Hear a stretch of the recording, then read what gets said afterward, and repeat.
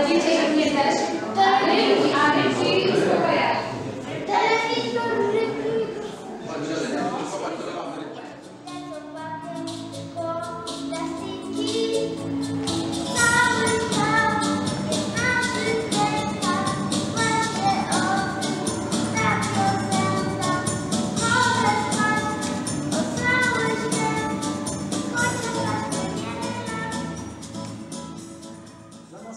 takie szczególne wydarzenie.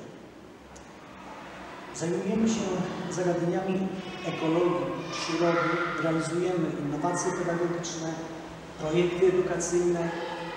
To wszystko się dzieje w szkole.